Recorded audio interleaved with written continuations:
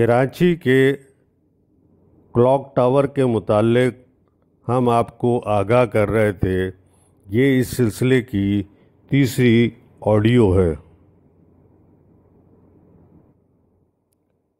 اس audio کو بنانے اور احساس انفو چینل میں معاونت کرنے پہ میں شہریار احمد، شاداب احمد اور سفیان عالم کا شکر گزار ہوں کہ جنہوں نے ہمیشہ مجھے معاونت فرمائی اور ان کے تعاون کے بغیر یہ ممکن نہ تھا۔ آپ سے درخواست ہے کہ احساس انفو چینل کو زیادہ سے زیادہ سبسکرائب کریں۔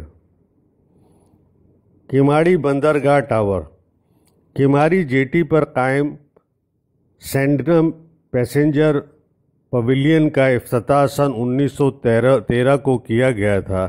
یہ ٹاور لارڈ سینڈنم سے منسوب ہے، جو ممبئی کے گورنر تھے۔ یہ گھنٹہ گھر کماڑی ٹاور کے نام سے مشہور ہے، جس کے چاروں اطراف میں گھڑیال لگے ہیں۔ جن میں سے ایک کا رخ بحر عرب کی طرف ہے۔ دوسری جنگ عظیم تک برطانوی اتحادی افواج کے لیے یہ بندرگاہ متحرک اڈہ تھی۔ موجودہ دور میں بھی یہ عمارت اور گھنٹہ گھر فعال ہیں اور اس کی دیکھ بھال محکمہ جہازرانی کے پاس ہے۔ لی مارکیٹ ٹاور۔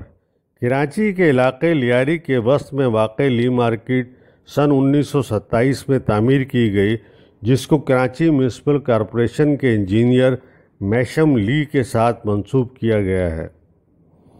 اس کلاک ٹاور کی مارکیٹ میں مرکزی حیثیت ہے۔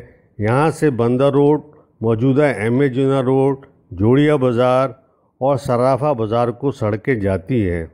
ٹھٹا ملیر، گڈاب اور حیدرآباد جانے والی پبلک ٹرانسپورٹ بھی یہاں سے ہی دستیاب تھی۔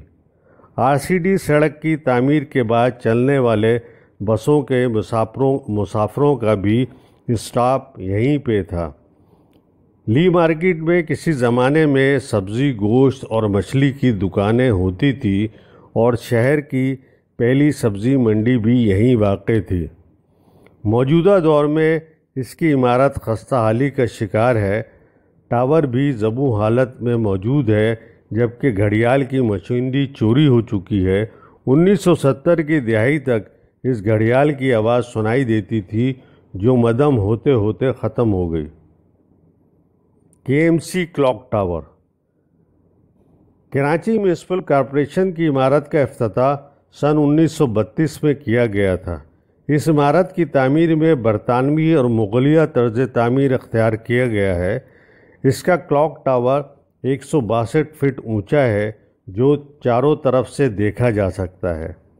کے ایم سی میں موجود ایم اے جنا روڈ اور سابقہ بندہ روڈ پر واقع ہے۔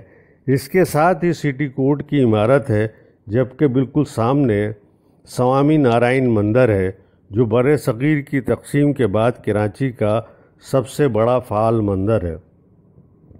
کے ایم سی کا گھڑیال کچھ برس قبل غیر فعال ہو گیا تھا، جس کو مقامی طور پر بحال کیا گیا تھا۔ اس وقت اس کا بڑا گھڑیال اور صرف ایک طرف کی چھوٹی گھنٹی پر گھنٹہ مکمل ہونے پر مدھم آواز میں بجتے ہیں۔ Lakshmi building tower. Bunder road پر لکشمی بلڈنگ سن انیس سو چوبیس میں تعمیر کی گئی، جو کراچی میں اپنے وقت کی سب سے بلند و بالا لگژری عمارت تھی۔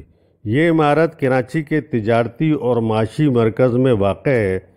اس عمارت کی منظوری لکشمی انشورنس کمپنی نے دی تھی۔ اس کے ٹاور کے خد و خال شکاگو اور نیو یارک کی بلند عمارت جیسے بنائے گئے ہیں، جبکہ ہندو مذہب کی دیوی لکشمی کی مورتی اس کے اوپر نصب کی گئی تھی، جو سن انیس سو سینتالیس میں ہٹا دی گئی۔ ماروی مظہر کی تحقیق کے مطابق قیام پاکستان کے بعد اس عمارت کے مالک انڈیا نقل مکانی کر گئے اور انہوں نے یہ عمارت ایک پارسی تاجر کو فروخت کر دی۔